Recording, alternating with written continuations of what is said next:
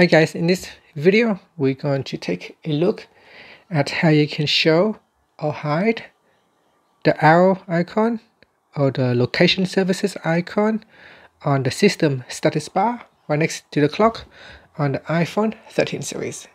First let's go back to your home screen by swiping up at the bottom of the screen.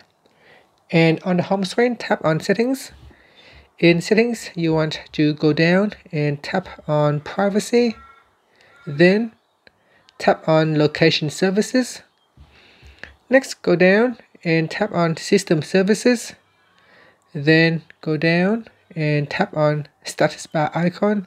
So tap on that to turn off the arrow or tap on it to turn on that pointy arrow. Once it is turned on, it will show the location services icon in the status bar when the services above request your location. So basically some of these services up here, if they are requesting your location, it will show an arrow right, right up here. And if you do not really care about it, you can simply uh, switch it off. And that's it. Thank you for watching this video. Please subscribe to my channel for more videos.